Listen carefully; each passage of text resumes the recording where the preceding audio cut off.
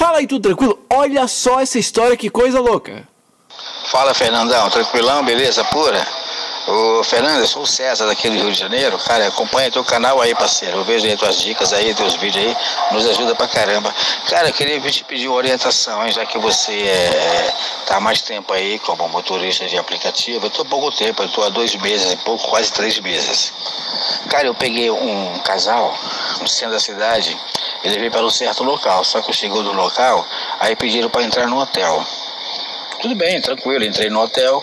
Cara, quando eu chego lá na, na, na portaria, uma moto para atrás de mim, o cara dando um chute no carro, querendo me dar porrada, dizendo que eu tava com a mulher dele. E o casal estava sentado atrás, cara. Eu abri a porta, falei, ó, pô, parceiro, essa mulher aqui, que eu, esse bolso aqui eu peguei, eu sou motorista, tô trazendo aqui pro hotel, não tô nada a ver não, parceiro. Entendeu? O cara tava armado, que achava que era eu que estava entrando, entrando no hotel com a mulher dele. Cara, um, um transtorno danado. Mas aí me pagou a corrida, fui liberado, não sei o que aconteceu não. Aí faz um vídeo aí, cara, indicando aí pra gente o que, é que a gente pode fazer numa situação dessa, parceiro. Entendeu? Porque a gente entra num hotel, se algum conhecido, algum amigo vê a gente saindo, porra, fala pra nossa mulher, vai pensar que é a gente que tá com a mulher, né, cara? Porra, aí vai. Aí complica a nossa situação todinha, cara. Ah, faz um vídeo aí, cara, uma dica aí, como é que a gente pode fazer para evitar esse tipo de problema. Que eu não sei, sinceramente, cara. Sei que eu quase que apanho sem necessidade, parceiro. Um abraço pra ti aí, cara. Fica com Deus aí, sucesso pra você.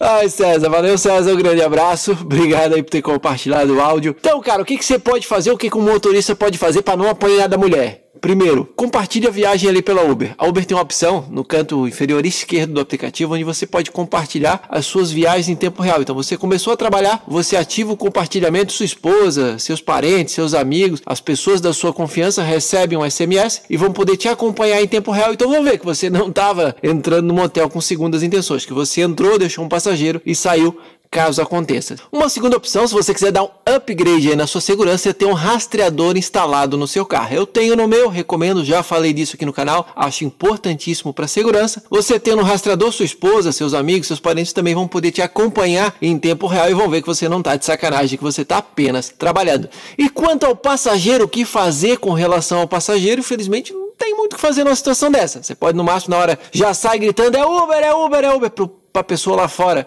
no caso o marido traído, se tocar que você não tem culpa, que você só está fazendo transporte e depois está reportando o ocorrido para a plataforma. Você vai lá na ajuda do aplicativo e informa que teve um transtorno com aquele passageiro, que a mulher estava traindo o marido, etc. É o melhor que você pode fazer. Então, compartilhe a viagem pelo aplicativo, tem um rastreador para ter um pouco mais de segurança e qualquer situação desse tipo é importante você estar tá sempre reportando para a plataforma. César, obrigado pelo áudio. Se você tiver alguma história engraçada, alguma história interessante, alguma curiosidade, manda para mim, tem o meu e-mail aqui na descrição desse vídeo, que a gente troca uma ideia, conversa, quem sabe até eu faço um vídeo para você e para tirar dúvida de mais gente, ok? E não se esquece, já se inscreve aqui no canal para não perder mais nenhuma dica, nenhuma sacada, nenhuma história engraçada. Um grande abraço, bom trabalho, uma boa viagem e até o próximo vídeo, hein?